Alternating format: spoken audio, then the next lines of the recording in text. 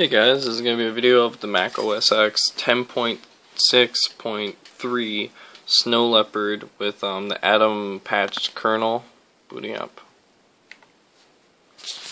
On a little, uh, on a Lenovo S10-2 with 2 gig of RAM and 120 gigabyte 7200 RPM um, Seagate Barracuda.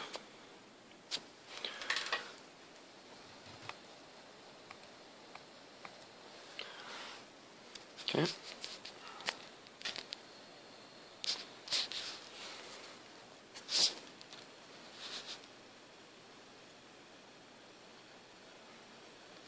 Let's boot right now.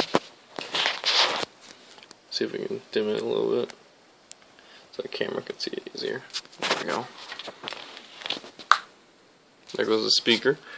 Um, I fixed the sound. It had uh, problems with the Voodoo HDA driver, and um, I had to install Voodoo 2.6 flat, not 6 point, uh, 2.61 or anything. But yeah, there it is. Relatively quick. Um, it's all booted up. Wi-Fi works. It's charging my battery. Um, everything seems to be working great.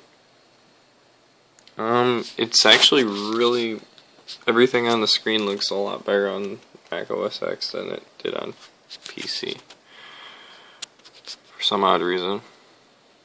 But yeah, there you go, guys, and that was a boot up video. I think it's relatively quick and very easy to install if you know what you're doing, and if you have the right ISO, because they took out AM support in uh, 10.6.2 and this is 0.3 so you have to have a patched kernel to run this.